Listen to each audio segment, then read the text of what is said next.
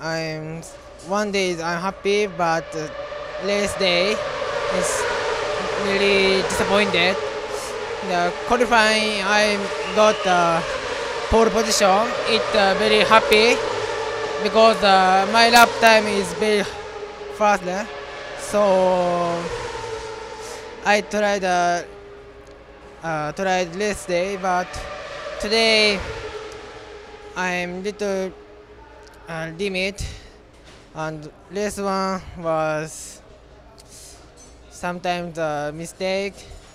Then I'm finally fourth. Then I changed uh, some setting. Then race two was same position, but uh, I stayed uh, top group. Is it is uh, I'm for happy.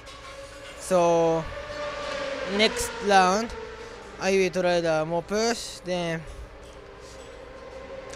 I will do my best next race.